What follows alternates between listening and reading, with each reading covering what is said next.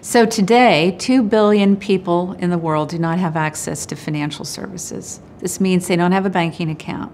They don't have an account in which they can save money. They may be saving it under their mattress. Uh, they don't have access to insurance.